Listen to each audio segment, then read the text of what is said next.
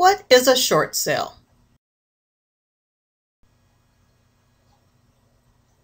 A short sale is when a homeowner owes more on their home than what it is worth today. A lender may allow the homeowner to sell their property for less than the mortgage balance owed and accept a short sale. A short sale allows the homeowner to sell their home to a buyer, this way avoiding the long process of a foreclosure. How to qualify for a short sale?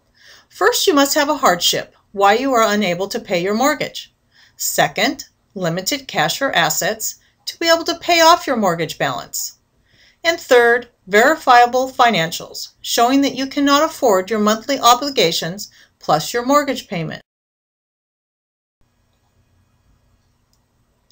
If you are able to meet all of these requirements and with the right real estate agent, you will be able to negotiate a short sale.